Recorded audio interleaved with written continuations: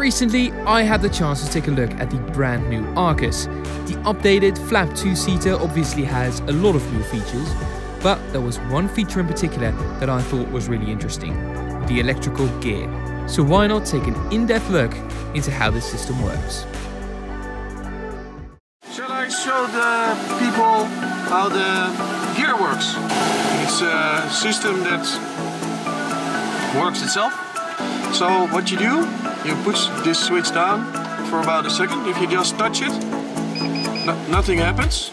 So if you just, if it's on the ground or something happens, you just slide your finger by, nothing happens. You have to hold it and then it goes down. Such a convenient system. Such a convenient system. Now it's down. Up is the same thing. Hold, press and hold for a second.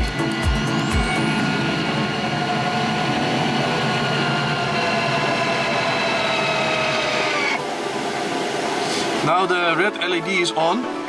This is the prototype. After uh, we finish um, the, the works on the software, uh, after 10 seconds the red light will be off. So that's it. So that is the new system.